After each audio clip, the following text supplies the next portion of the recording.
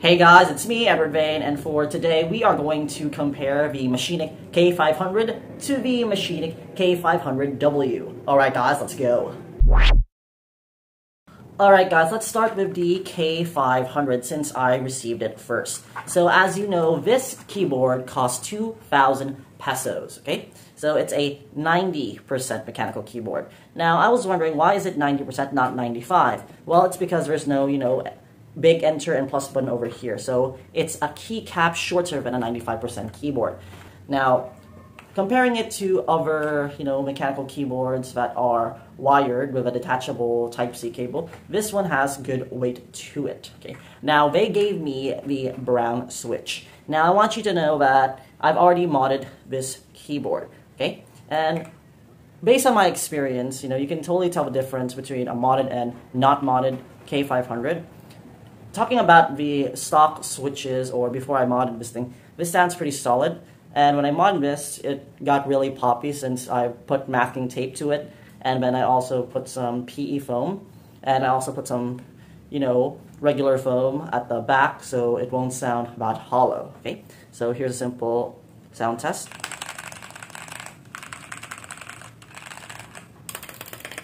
There's just a little rattle in the stock stabilizer. I haven't on the spacebar yet. Again, this keyboard also has RGB. Actually, both keyboards do have it. Now, let's take a look at the K500W. Now, from a K500W, as you can see, I believe, you know, the W stands for wireless. So this is tri-mod. Okay, so it could be wired, it could be Bluetooth, and it could be via dongle as well. Okay, so it's heavier compared to the K500. Now for the spacebar, there's a huge improvement. Again, only stock stabilizers, haven't mounted yet.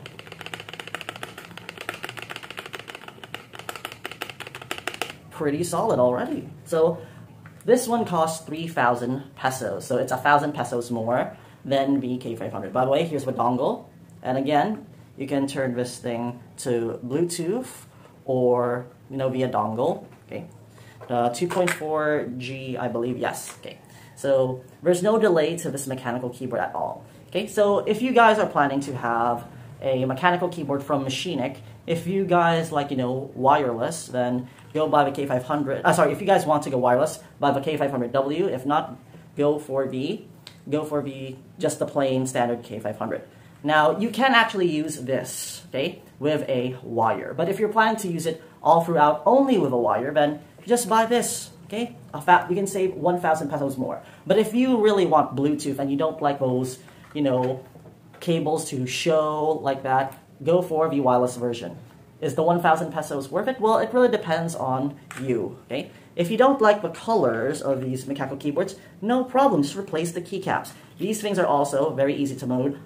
Both of them are also hot swappable, so it's really up to you if you want to spend 1,000 pesos more for the for the you know wireless effect or the tri-mod effect. Okay, so these boards have really good sound. Again, we're comparing a brown switch to a red switch. And by the way, here's a simple sound test of the red switch.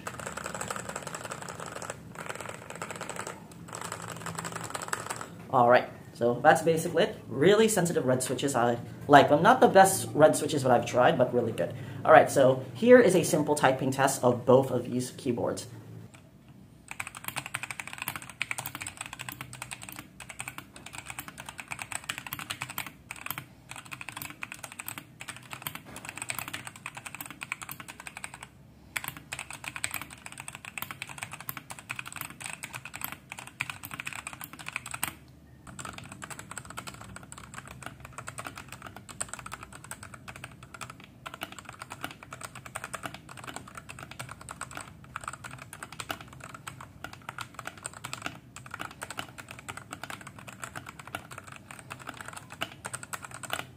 Alright guys, so what do I recommend for you guys? Well, for me, I really want my new setup to be wireless, so I do pick this. Is the 1,000 pesos too much for a slightly upgraded wireless keyboard?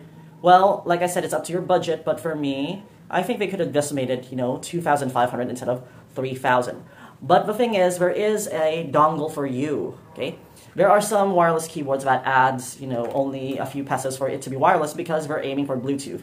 This isn't just Bluetooth, this is tri-mod. So if your PC doesn't have a Bluetooth feature, then you can just use this dongle as well, okay?